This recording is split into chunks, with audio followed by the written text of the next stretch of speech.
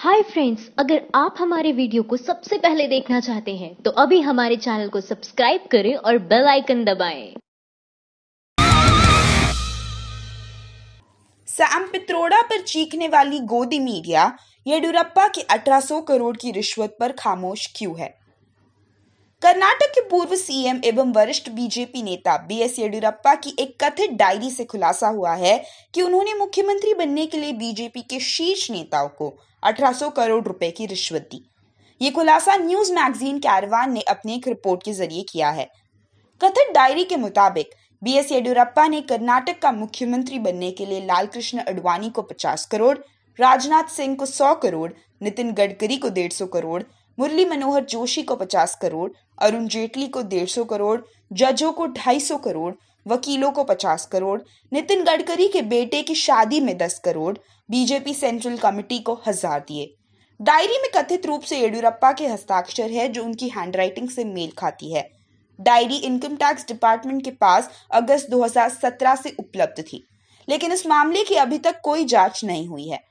मामला सामने आने के बाद सत्तारूढ़ बीजेपी विपक्ष के निशाने पर आ गई है।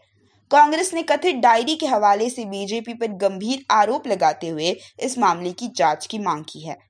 कांग्रेस प्रवक्ता रणदीप सुरजेवाला ने दिल्ली के कांग्रेस मुख्यालय में प्रेस कॉन्फ्रेंस कर कहा कि चूँकि इस मामले में मोदी कैबिनेट के बड़े नेताओं का नाम शामिल है, इसलिए प्रधानमंत्री नरेंद्र मोदी से लेकर बीजेपी की केंद्रीय समिति के सभी नेताओं की जाँच होनी चाहिए।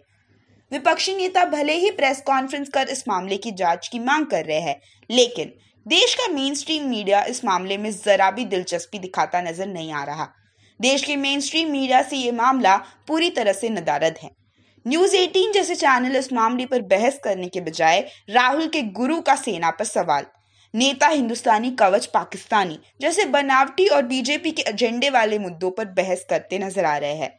वही जी न्यूज़ के प्रोग्राम ताल ठोके में तो पुलवामा के हत्यारों पर फूल बरसाती कांग्रेस, जैसे विपक्षी पार्टियों को घेरने वाली बहस की जा रही है। आज तक भी इस मामले में पीछे नहीं है। उसके प्राइम प्रोग्राम दंगल में भी फर्जी राष्ट्रवाद पर बहस जारी है।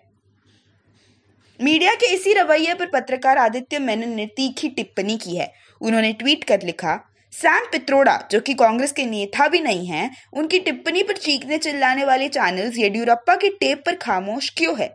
वही मशहूर यूट्यूबर ध्रुव राठी ने ट्विटर के ज़रिए कहा देखते हैं कि कौन सा मीडिया हाउस चौकीदार येडियुरप्पा की डायरी के बारे में बात करने की हिम्मत रखता है। कथित तौर पर वरिष्ठ भाजपा नेताओं को 1500 करोड़ रुपए दिए गए। माइंड द न्यूज़ रूम की report thank you for watching our video अगर आपको हमारी वीडियो पसंद आई हो तो इसे लाइक ज़रूर करें और हमारे चैनल को सब्सक्राइब करना ना भूलें।